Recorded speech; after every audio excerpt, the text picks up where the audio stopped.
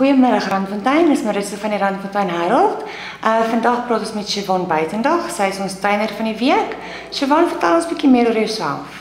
Goeiemôre julle, ek is Siobhan Buitendag, skoolhoof van Little Angels Daycare in Green Hills. Um, ons is so 3 jaar besig met ons kleuterskool. Ons leer ons kinders Engels, Afrikaans en Tswana. Ons het 'n Christelike kurrikulum wat van Amerika af ingevoer is.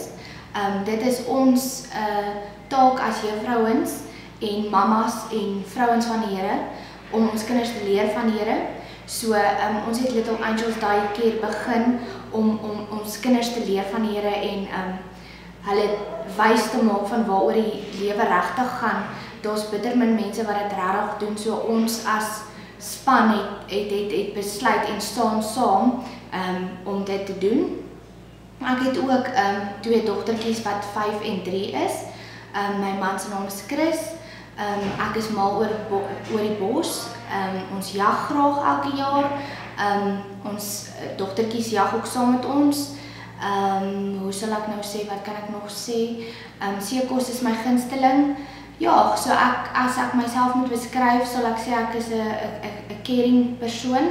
Ehm um, ek stel altyd ander mense se belange uh, voor myne en neem almal in ag.